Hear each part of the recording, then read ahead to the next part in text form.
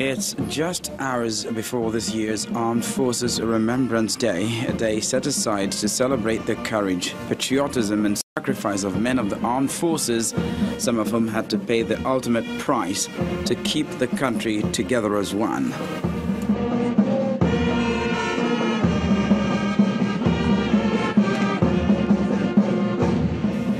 But before the guns start to boom in salute of the courage of these men, there are church services to thank God for the lives of those still living and show support for the families of those who have fallen.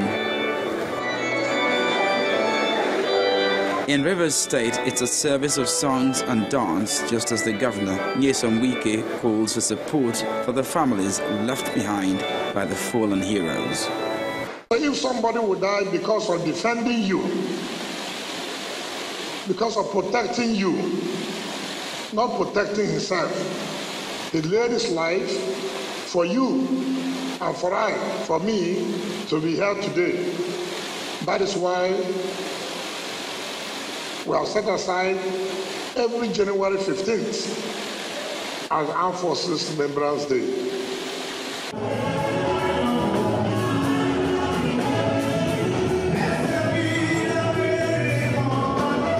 It's a service of dance in Imo State where Governor Rochas Okorocha lauds the sacrifice of the heroes.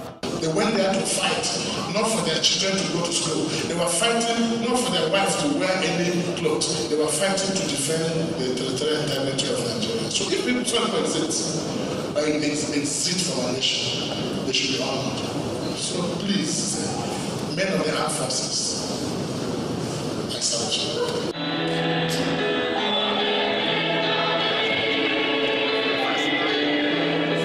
The vicar of the Holy Ghost Cathedral, where the governor of Enugu State, Ifeanyi Ugwuanyi, joins other Christian faithful, wants leaders at all levels to do more listening than talking.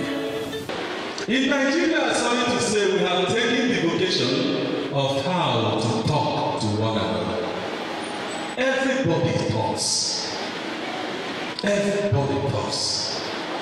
And no one wants to listen. I needed a position where I can talk, others listen. In Niger State, former military head of state General Ibrahim Babangida warns politicians against divisive statements, adding, quote, as a people, we should inculcate our cultural values that promote good conduct, tolerance, and peaceful coexistence. We should eschew hate speech, discrimination, and other vices that trigger senseless violence and bloodshed. End of quote.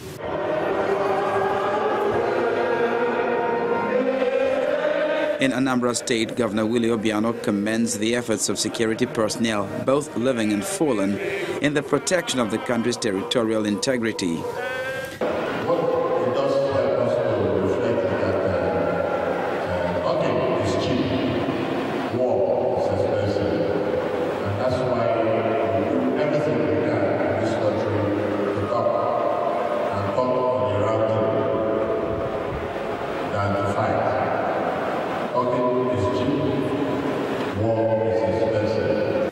As the country remembers the national heroes on Monday, especially those who have fallen, the call continues for everyone to grow their love for the country rather than for a section of the whole.